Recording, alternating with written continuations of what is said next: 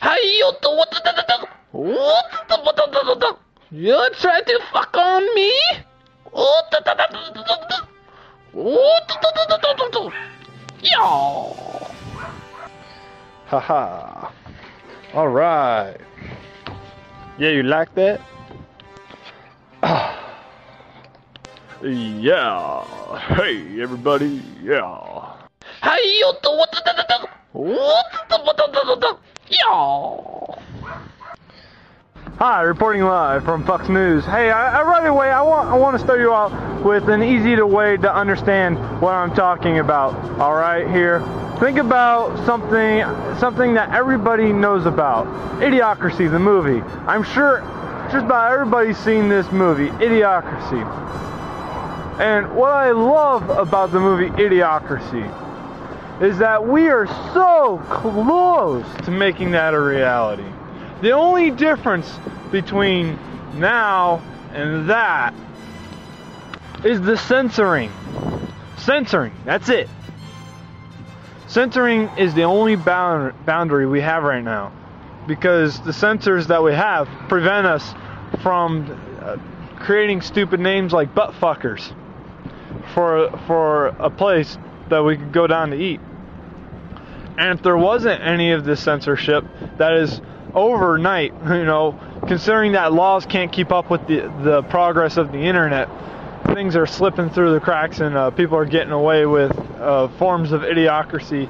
And, and with that sort of with that sort of mentality, people started going to places that were called butt fuckers, and uh, they started lo- lowering their educational communication even worse than the standards that tech, um, texting has things would be even worse. It, it's it's a trickle down effect, and if they were to, as we're loosening up our censorships, it's it's getting worse.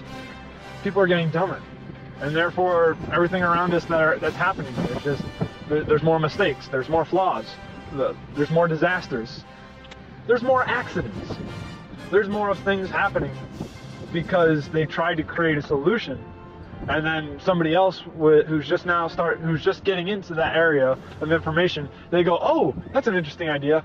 And they do the exact same thing that the person did previously that that, that blew up or uh, didn't work. And they end up going through the exact same problem. Well the person who fixed it and, and did it the right way they're like oh what the hell did you just do? You know that now i gotta i gotta pay for what you just screwed up?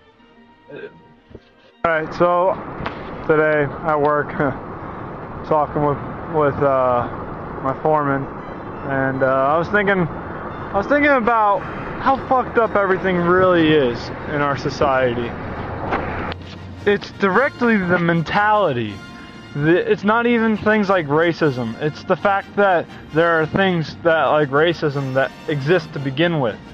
It's the fact that the the mentality that it doesn't.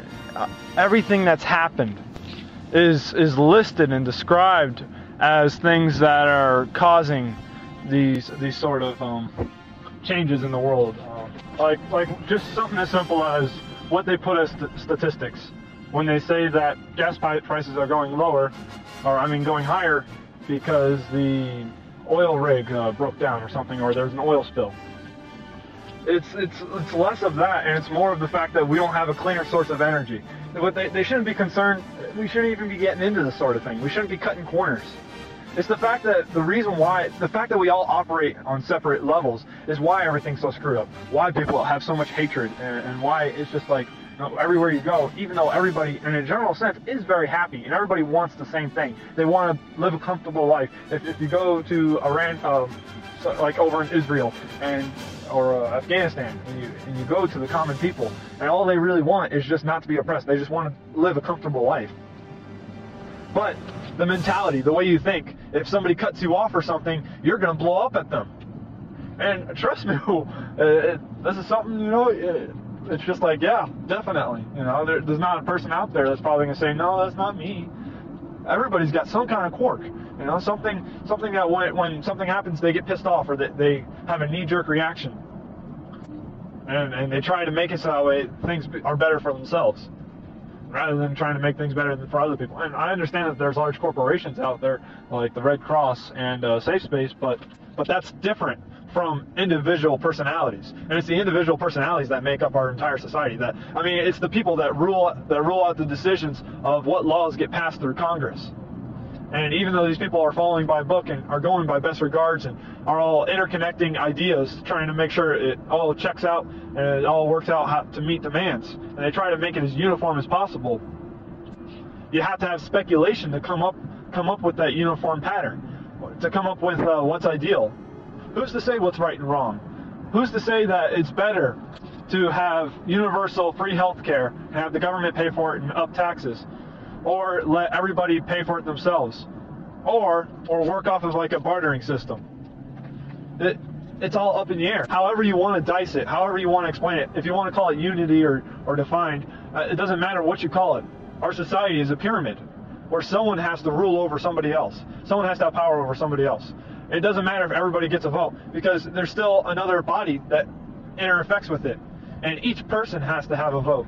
Well, well, who came up with the uh, with the ideal of who, of of what's being voted on? You know, that was discovered. That was chosen by one person. Why couldn't everybody work together to just think of one thing? If you know what, what I'm saying is is better education, a higher level of understanding. If everybody was working towards the same, I'm talking about evolution, okay? Because of the, our evolutionary standards currently, everything works out fine. And the reason why we're having all these these wars and and fighting over thing is be, things is because because people want to evolve into unity. People want to evolve into working as one body. Why wouldn't they want to work it evolve into working as one body if they didn't want freedom, if they didn't want democracy? That's the idea of democracy. That's not what's written on paper. Because on paper, democracy is just as much of a scam as anything else. There's just as much bullshit and loopholes all throughout it, where people gain the upper hand on other people. Look at lawyers; they profit off of um, ignorance. So basically, we all want to be better and greater, but we're just too too lazy and too stupid. And going back to evolution, you can look at how evolution, all in general terms, refers to physical changes, refers to different textures of skin, uh, pigments to adjust to life. And uh, throughout our lifetime, we we have out of a couple thousand years that we have been around, um, what is it, fifty thousand? Uh, in total that they have on record of us being around. And it's only like you know, about two or in the past two or four thousand years we've been really productive. We've really started to show, show, some change. And there's been a lot of things that have changed, like goosebumps. I mean, when we were in our earliest species, uh, goosebumps were used as a form of making the body look bigger. It was also a way for when there was cold weather for um, for the body to track, uh, trap more moisture to get warmer. And uh, the cold part of it is still there because there's still people living in cold climates. But when you get angry at something, someone, the most people don't get goosebumps. We used to. Very few people do. Which is why I've heard some people say that black people are lower on the evolutionary scale because physically they have a lot of traits, they have a lot of bones and such that the more evolved people don't have. The, the body has gotten rid of those than other people because it doesn't need them. And yet the black people still have them. They still have the dark pigment to to fight off skin cancer and such. And I'm not trying to be offensive or anything. it doesn't it doesn't make them any less of a person. It just means that they're physically they're different. It's it's not only it's not just a skin color, you know. They're physically different. They have bigger bones. Uh, in earlier species, we were shorter and thick boned, so that way we could uh, handle heavy weight and we, we would be more dense in a sense that we were tougher. The, the bone was very dense. It was, it was very hard to get through. Um, we could take cuts. I mean, if if, you, if you've looked at ancient um, skeletons of early man, of the thick bones, they'd have cuts in them and, and, all kinds of damage marks that you could see that had to have happened throughout their lifetime, but they still survived through them. If that happens today, you lose an arm because people's bones are a lot smaller. And uh, as the, the, bones are dwindling down, we have things disappearing, like the Jacob's organ it's it's a part. It's a, it's like a, a bone in the nose that that for other animals, it it alerts. It, it sends a it gets a chemical sending uh, through the body. It sends a chem, it tells the brain to start sending a chemical um, when when there's danger around, when there's something bad going on, or or it'll it'll alert the brain when there's sexual um, there's a female nearby because it can because it can smell the pheromones in the air. I'm sorry, not smell, detect it has to detect the pheromones. It can't smell the pheromones. That's for other glands to do. And when was the last time you were able to smell somebody horny? I mean, if someone gets really horny and they're like breathing on you, you can smell the change in temperature in their breath. But it's not like a dog where if you're 10 feet away from them, you can smell them, or or 100 feet away. But at one point in time, it was. It's not like that now. And we also have a lot of junk DNA. We have a lot of DNA that we, we don't even use anymore. Things that are that were used to process uh, different different vitamins and such that that are just uh, not used because we don't need them. We only have the vitamins that we need now. Right now, the only reason, the only thing that this DNA even does for us is it helps us indicate what other species we're related to. You know, but for now, we're still apes. We have a long ways to go before we can go beyond evolving out of ape-like species. And uh, we've had a lot of other physical traits. We had extra ear muscles, so that way we can move our ears around like dogs. Uh, we still have a muscle on our foot that's very undeveloped. It's really small. It's it's they call it the plantaris muscle, and it basically allows it allows a person to control the heel of their foot. See, flat being flat-footed, that's a new thing. Early man was not flat-footed. They had a big arch in their foot, and even before that, we were living in trees. Before we, we, we had evolved into ground walkers, before we had a straight spine, we had to be in trees. We had to be one of those small little lemur-like monkey, uh, no monkeys, but a small ape because we're not monkeys, we're ape, we're apes. And uh, we had to be some kind of small ape that, that used the bottom of its foot to clamp onto the tree. But it's so undeveloped right now, we can't even move. try to move, try to move the ball of your foot. You can't. But at one point in time, we could arch it forward to touch our toes. We could use it like a, a, a thumb, you know. Maybe there was a thumb there. It's completely gone now. If there was, I like to look at the gorillas, and I think it's so interesting their anatomy because in a way their anatomy is so much like our own. I know a lot of people think that chimpanzees mentally are a lot like us, but I think gorillas physically they have a lot of the same characteristics of what an early man would have looked like, except a lot larger. Maybe like a very like a baby gorilla would probably be what I would imagine like a full-grown person. Well, we were a different species. We weren't human. We were completely different ape. And uh, the, the wisdom teeth. I mean, there's also the the thing that all apes have, the third eye. The if you if you look if you open up your eye, you see that little that little um, that little that little cross membrane in the corner. That little cross membrane was originally so that way the eye there for a third eyelid to go across. And basically, almost all apes have that third eyelid. There's um there's only one species of ape or monkey. I'm not sure if it's a monkey or an ape that still has the third eyelid. Uh, I believe it's called uh, Loris. Loris? Loris. Yeah. Loris. It's an African monkey. Yeah. And it still has the third eyelid. It blinks it. Which is, it's, it's a clear eyelid that we used to see underwater. We don't have any more. And that's just proof that we came out of the ocean. Duh. And there's also the, uh, a lot of people argue about the Darwin's point, uh, the point in the ear that helps uh, pick up sounds and there's changes in the spinal cord and the appendix. But ultimately, we are going through a lot of changes. And that's most of the changes right there. I could also start to talk about how the size of the brain is changing, skulls are changing, size of people's feet. I'm not talking about other things. I'm talking about just feet. You know, feet are changing, and in a way, we're. It's almost like we're no longer evolving. You can almost start calling it mutating, because we're not really getting ahead. I know because we're, we're falling backwards, but we're getting new things. We're getting changes. We're changing, but it's not for the better. Nature-wise, uh, surviving in the wild is really crippling us more than anything.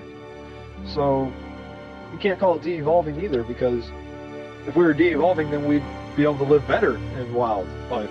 We'd be doing better out in nature. We'd be doing better against diseases. But we're not. We're not de-evolving and we're not evolving either. We're, because de-evolving and evolving are both forms of increased uh, ability in one way or another. We're in some sort of in-between area. We're in a mutation. We're mutating. We're dying. our, our race is falling apart. We're, we're losing this battle. We need to stop treating it like a battle. We need to start uh, realizing that, hey, this planet, it's, uh, we're just little fleas on it. We're annoying it, and uh, we need to stop and even beyond that, we have to adapt to it. I mean, how much control do we really have? How much of a threat are we to this planet really? I mean, how well when when the planet goes through such drastic changes like earthquakes and, and the solar flares just completely change the environment. But no matter what, no matter what happens in nature naturally, without us getting involved at all, it always recovers. So we are just another part of that nature. It is natural for us to be polluted. Um, we're just as violent as many other species. We're still very basic.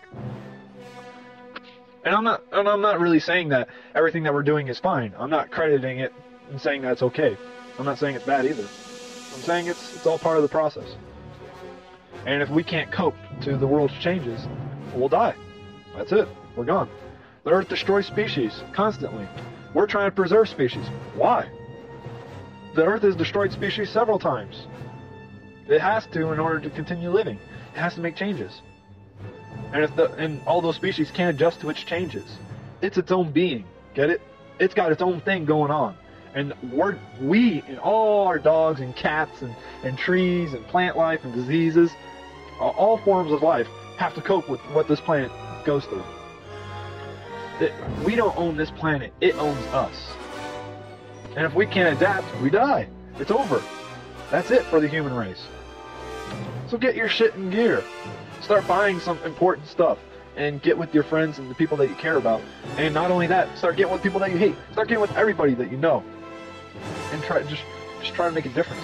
Try to get prepared. Um, anything. Just get get prepared for anything. Try to connect with other people.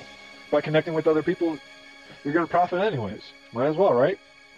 And the better you know everyone around you, who knows what kind of opportunity might come up, career-wise, and also uh, health-wise. You never know when you're going to be in a crisis and you need somebody.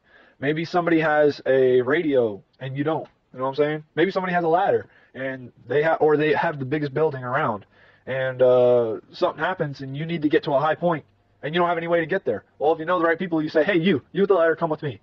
We're going over to this guy I know. He has a big house and it's it's a brick shit house, so you can't be broken through. So we're going to climb up there, and I'm going to use your ladder, and we're going to try to get as many people to come with us as possible. That's what needs to be done, right there. Bam, got it. Hit. Bit about it. How many people do you know go out there and do research and try to set up things to change, make changes? How many large organizations out there that are designed strictly for for uh, improving improving regulations and such? There's a lot but how many people are actually in them? You know, it's only a select few, and it's generally people trying to get like tax write-offs and shit like that. People who people donate to charity. Not be, most people donate to charity not because they want to donate money and they want to help out a good cause. No, because they want to write it off on their taxes. Everybody's trying to get ahead. Nobody's looking at the important picture. The important picture is that, and rather than thinking about how much money you could get, or thinking about how much you're spending to make changes, like like let's say make change from uh, from gas-powered cars to let's go above electronic and and above um, the hybrids, and let's go to pure uh, just you know water-powered cars or or even magnetized power cars. If they could uh, put everything on a track, and then they could just integrate all the systems. That way, we'd never have fucking crashes. We wouldn't have accidents, and it wouldn't be like a train, but it'd be like a train effect where we'd have a plate on the bottom, and we just we'd have a basically a leveling plate on top. It's just basic physics. Um, there, there's several ways to go about. It'd be like a hovering, but it would be on a track, so to speak, and it would be impossible to go off the off the road. And that'd just be one way for high society to make a change. But then what about all the lower people? You know, this, that's what I'm saying. Everything's divided. We need to bring up all the lower class to the same class. Everything needs to be the same if, if we want to if we want to start void start avoiding these catastrophes these disasters. These disasters are happening because of human error, because everybody's trying to prevent prevent the disaster from happening. But by trying to prevent it, we are causing the disaster.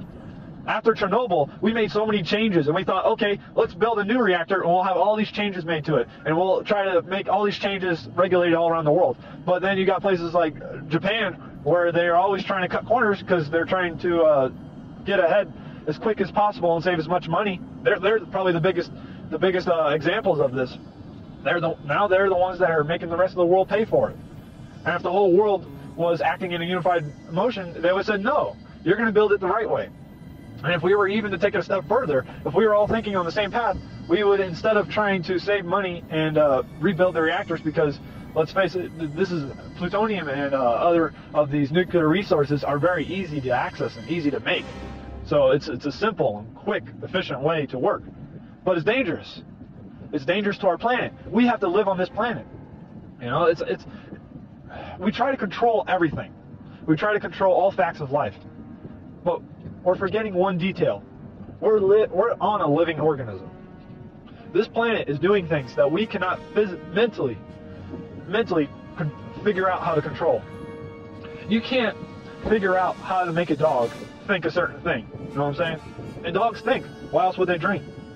Dogs are thinking. It might be a very low level of thinking. It, it's mostly images that they associate with. Uh, but we can't. We don't understand the brain in a way that we could force them to see images and think certain things. We have to evolve. We have to move to a higher frequency of understanding. If you've been researching um, people like David Icke who talk about higher frequencies, and you think, okay, this is a bunch of bull crap. This is a bunch of hocus pocus. Higher frequencies, frequencies are just wavelengths. That's just patterns. When they're saying frequencies, they're, they're referring to process. They're, they're referring to how, in a global scale, like uh, not global, but like a spiritual scale. They're- They're speaking in a more spiritual sense because any sort of evolution requires internal change. I mean, you get rid of things that you don't need, and and you also get rid of things that that are causing trouble. So, in a sense, you have to change the way you think because it's chemical reactions that power everything in your head. So technically, you're changing the way you think in order to adapt to, to the world around you. A disease starts killing off thousands of people. You know, not, not only is that going to change a chemical balance in, in your body in order to adapt to it, but you're going to start seeing things in a different light. You're, you're going to start thinking, okay, how can I how can I help other people? Because you're going to need to help other people because that's just that's like instincts. You know what I'm saying? It's something you're born with. There, there's a lot that we're born with that we don't even tap into. It's so sad the fact that we take children and we put them in these little uh, pre little preschools, and that's like when the brain's at its best because we basically lose all our ability to learn. Like we lose our greatest capacity of, of learning as we grow older. You know, it gets worse and worse, and we start out at our best. We start out at a very high level of, of absorption. And it's at that time where in the schools we're putting like 30, 50, 40 kids and little kids in a class, like 20 or 40 kids in a little cla- little kids in a class. What what are they gonna? You know how long it's gonna take them to get through just one thing, like drawing a straight line? When are they gonna get to two plus two? You know what I'm saying? It's gonna take them a lot longer. Have you ever noticed a homeschooled kid? Because they have direct focus all the time, by the time they do end up in regular school, they're at least three or four grades ahead of everybody else. That's because they had more personal connection, one-on-one. We have too many kids being born, and we don't have, and the schools can't focus on you know just a few kids like they need to. The, the schools don't have enough money because the government's not making enough money, and it's all related to to idiocracy ultimately, because if you've ever paid attention to birth levels, people of higher intelligence who, who are successful and, and are trying to make better of themselves and trying to increase their capacity to learn, uh, you know, through the different learning styles, audio, visual, um, hearing, and hands-on, you know, uh, experience. And it's those kind of people that are usually they'll think about having a child, but they'll weigh all the different reasons why or why not to, and they'll make it a, a more logical decision rather than the stupid hillbillies that are sitting around drinking drug, uh, drinking alcohol all the time, doing drugs, or it's just anybody who who spends their time not thinking wisely. They spend their time, they waste times on drugs. And when I say drugs, I don't mean just like smoking cigarettes. I mean anything can be a drug. Playing video games all day, that's a drug. As far as I'm concerned, you're wasting time. You could be out learning.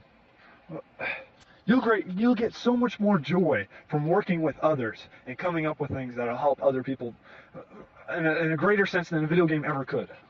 I'm working. I'm at um, Phoenix University trying to get my um, doctorate in sci- science study of psychology, and really working in groups. It's the best college ever because you only get like 10 students per class, and when you work in and, you and they have you work in groups to do all these assignments and figure things out, and they they tell you they want you to to get the details. They want you to figure out the why and the how.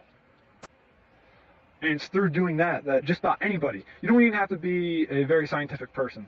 I mean, just about anybody can f- feel the, the joy and, and, and discovering something that can truly not just benefit themselves or that they can use in the real world, but benefit everybody.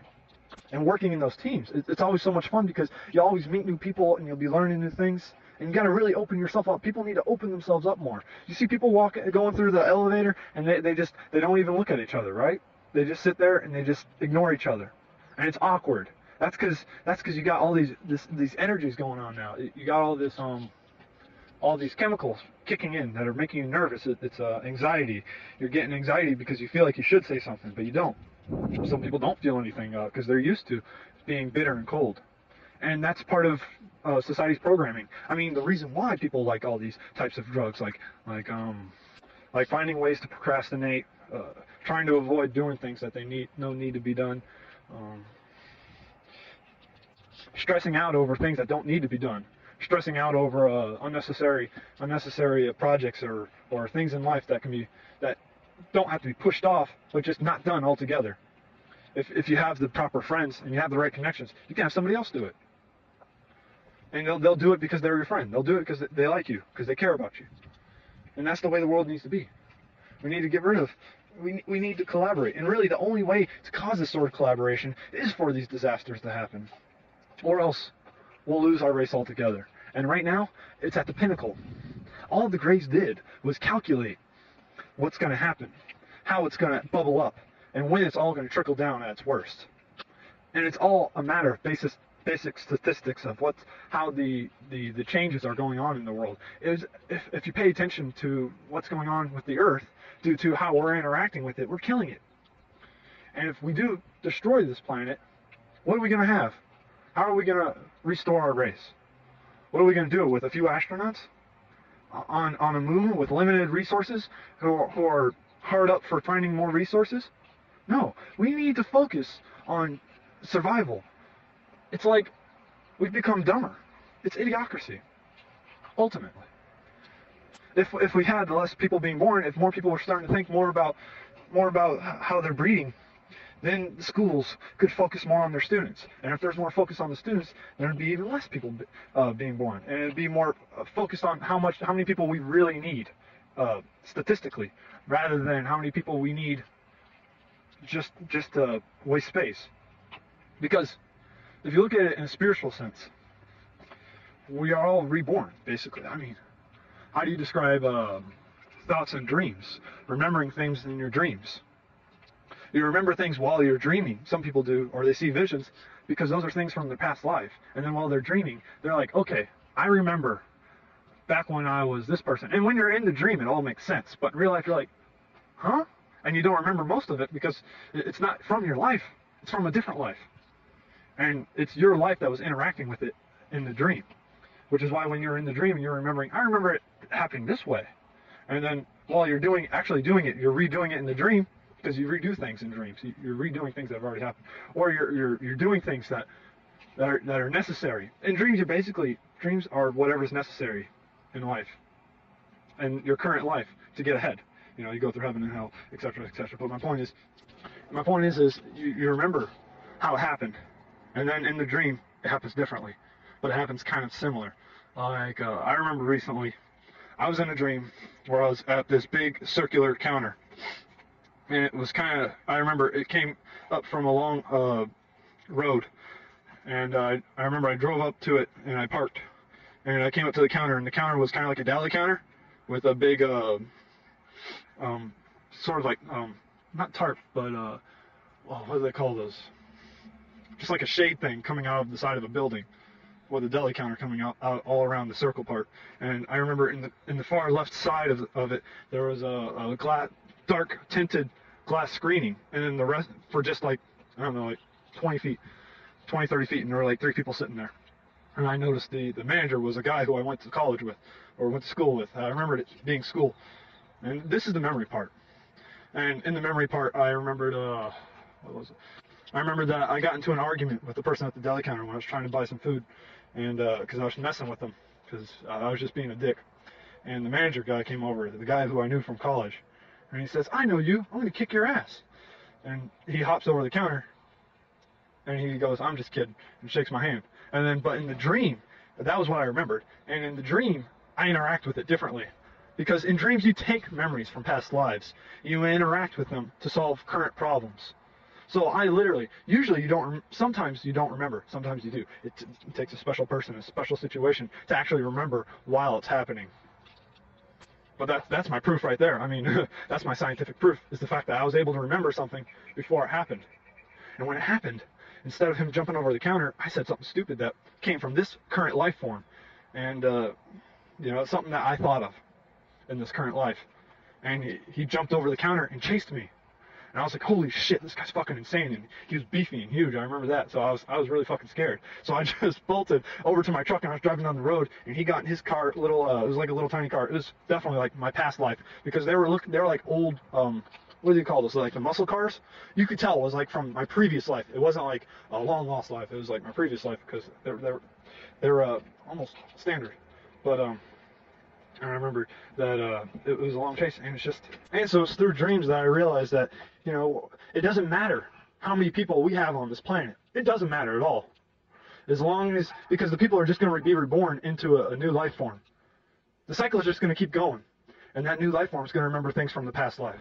And that new life form is going to go through heaven and hell as it's alive. You know, he- heaven and hell is here on earth. It, it's going to go through heaven and hell in the sense that uh, anything bad happening, it's it's going to be seeing hell when it goes to sleep, so that way it can try to figure out what it's doing wrong. It's all good. It's all there to help you. And if if we want to, you know, survive this transition, because this, okay, it's been calculated now, and this transition is coming. And due to recent changes, it was originally going to end, like the transition was going to end in 2015. But instead, because recently we've actually been doing some better things and we've been trying to improve by creating a lot of organizations, things have changed. And now it is delayed to two, um, 2018, I think? Uh, seven years from now. Yeah, 2018. Seven years from now.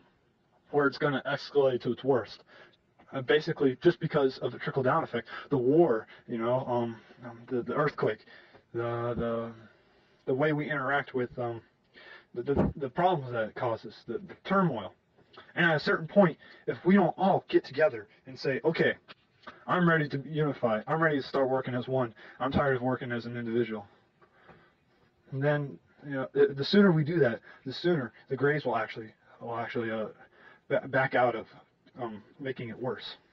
But as it stands right now, if we keep going the way we're going, the Greys are going to make sure that it gets even worse.